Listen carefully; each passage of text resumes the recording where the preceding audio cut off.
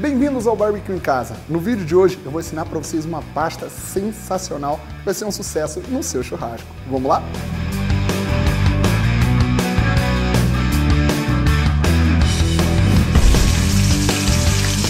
No vídeo de hoje eu vou mostrar para vocês uma pasta de alho que leva muito queijo, bastante orégano.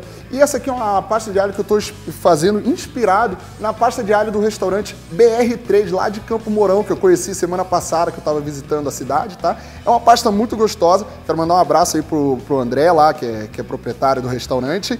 E eu vou mostrar aqui para vocês que é muito facinho, são poucos ingredientes e é uma delícia de verdade. Então vou apresentar para vocês aqui o que, que vai nessa pasta. Primeira coisa, a gente vai precisar de requeijão. Aqui eu estou usando um requeijão cremoso, você compra a marca que você está acostumado a comprar na sua casa, porque é isso aqui que vai dar um, um, grande parte do sabor da sua receita. Então compra aquele requeijão gostoso que você gosta de consumir sempre no seu café da manhã. Ó, vou precisar de um quase um terço de tablete de manteiga com sal, é importante que tenha sal. Aqui eu estou usando quatro fatias de queijo mussarela que eu peguei e piquei ele todinho. Se você achar ele já ralado, pode usar também, não tem nenhum problema. Dois dentinhos de alho, o do dente de alho, não coloque muito alho, porque essa é uma pasta, por mais que seja uma pasta de alho, ela é bem levinha no alho. O charme dela é o orégano e os queijos, tá bom, gente? E aqui, é claro, né, bastante orégano. O orégano é bastante mesmo, ele fica bem, bem impregnado na pasta. E claro, né, não pode faltar pão. A gente tem que ter aqui, ó, pão francês. Se você quiser usar outro pão, você pode usar outro pão também. Eu estou usando pão francês, porque o pão francês ele fica bem crocante depois de, de assado. Eu já mostrei para vocês em outros vídeos usando pão francês. E também lá no, no restaurante, no, no BR3, eles também usam pão francês, que fica bem gostoso. Então vamos começar a preparar essa pasta, que é muito facinho. Então, ó, gente, para fazer a pasta, você vai precisar de uma tigela maior, Pode usar a que você tiver na sua casa, qualquer. Pode usar até aquele potinho de sorvete lá que eu sei que você guarda, tá? Eu sei muito bem que você guarda esse pote. Não tem problema. Então, ó, gente, um pote inteiro de requeijão. Vamos colocar aqui esse potinho de requeijão. Vamos colocar o nosso queijo mussarela. André, posso usar queijo prato, queijo gorgonzola? Você pode usar o queijo que você quiser, tá, gente? O queijo mussarela, ele é bom, ele derrete rapidinho, ele fica bem gostoso nessa receita. Vou colocar aqui, ó, os três dentes de alho. Aqui eram três dentes de alho bem pequenininhos, tá, gente? Então, se você tiver com alho grandão na sua casa, usa apenas o, o, o alho grandão. Um só já vai ser suficiente. E pica bem pequenininho que vai, vai ficar bem gostoso, tá?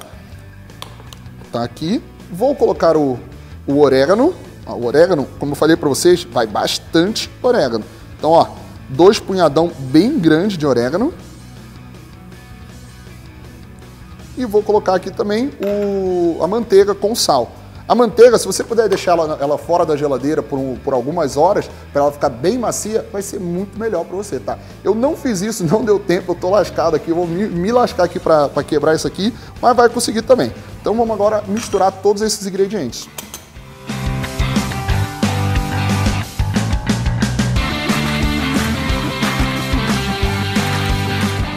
Gente, nossa pasta de alho já está pronta. Eu vou mostrar aqui para vocês, ó. Misturei bem. Olha como é que ela fica bem bonitona, com bastante orégano, como eu falei para vocês. E agora eu vou mostrar aqui para vocês como que tem que cortar esse pão para rechear. Ó, eu vou pegar aqui a faca e vou dividir ele, fazer dois cortes, né, para ficar três pedaços bem grandes. Então, ó, com muito cuidado para não partir o seu pão, corte até quase o finalzinho, mas não separe as fatias, tá? Então vamos cortar aqui, ó. ó um pedaço grande até o finalzinho, parou, vem aqui do ladinho e faz outro corte. Ó, bem grande também. Abriu os pedaços, mas não separou, beleza? E agora, ó, vamos pegar bastante pasta e vamos colocar aqui ó, só de um lado do pão, porque quando a gente fecha o pão, o outro lado já encosta e já pega bastante pasta, tá bom? Então vamos rechear todos os nossos pães.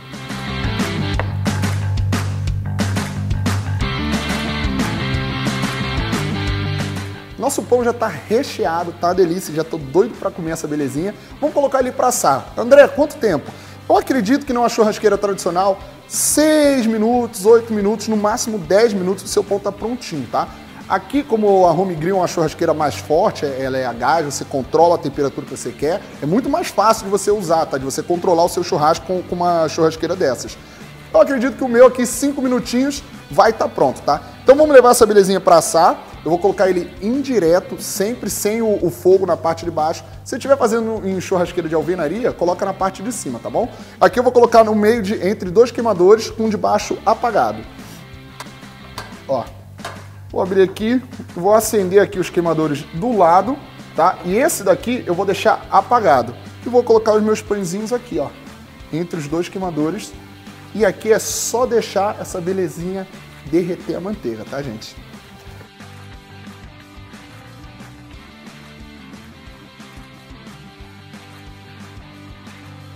Enquanto meu pão vai ali derretendo a manteiguinha, ficando pronto, vamos pro barbecue responde.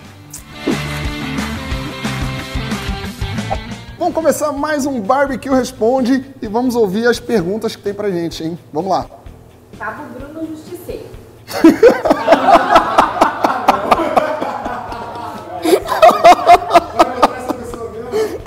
Então, Cabo Bruno Justiceiro. É, patinho não é uma boa carne para fazer. Eu tô até chorando, tá, cara? Isso foi engraçado.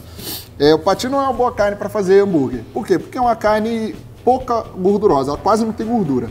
E o hambúrguer precisa de gordura para ele ter umidade, né? Que vai dar suculência no hambúrguer, para quando, quando você morder ele tá molhadinho, não é aquela carne seca, zoada. O patinho fica aquela carne seca, zoada, resumindo. A costela fica aquela carne top, bonitona, mas tem que ser na medida certa. Yasmine Assis. André, tem uma churrasqueira elétrica daquelas pequenas em casa. Só que sempre fica meio ressecada. É normal ou eu que sou ruim mesmo?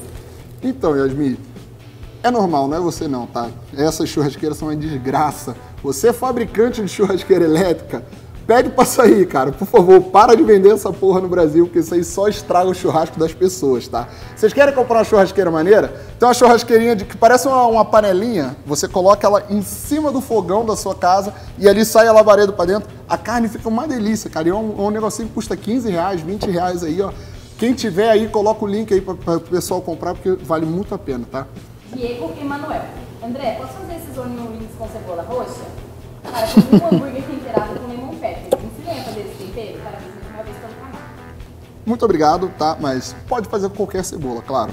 É, a cebola roxa ela vai ficar um pouquinho mais adocicada, o que é até mais gostoso ao meu ver, tá? Só que é mais difícil de achar e é mais cara a cebola roxa, tá? Então, por isso, tradicionalmente usa a normal mesmo, sem problema nenhum. E sobre o lemon pepper, posso ensinar a fazer também, mas vamos falar logo agora que é bem molezinho, ó. Você pega uma tigelinha, você raspa a casca do limão, põe pimenta do reino, sal, lemon pepper, cara, molezinha, só isso. Samuel Nicolau. André, você tá ligado se não, se não tiver bacon, não tem like, né? É complicado, gente. Vocês querem que eu fique comendo bacon. Não posso engordar, gente. Não posso comer bacon, cara. Bacon é bom, mas calma. Dê like sem bacon. O pão de alho já ficou pronto, tá? Vamos tirar essa belezinha que eu quero mostrar pra vocês o quão bonita ela fica, crocante e gostosa, tá? Vou pegar aqui.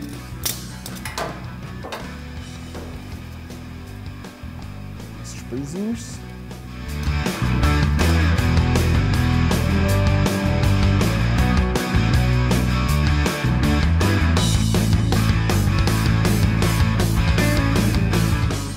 Gente, antes de provar essa belezinha, não se esqueça de clicar em gostei, se inscrever em nosso canal, que é muito importante. Se você não tem uma conta no YouTube, clica ali em cima e registrar. Crie uma conta, tá? É muito importante porque você vai receber no seu e-mail as notificações todas, todas as vezes que a gente fizer vídeo novo.